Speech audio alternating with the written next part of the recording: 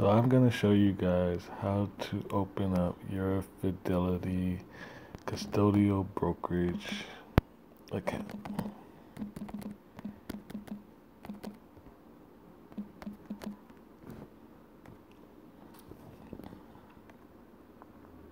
This is how I did it.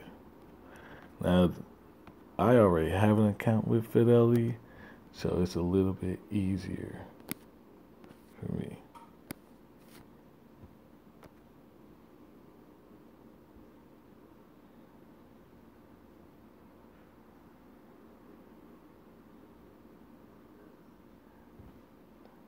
You see how I got there?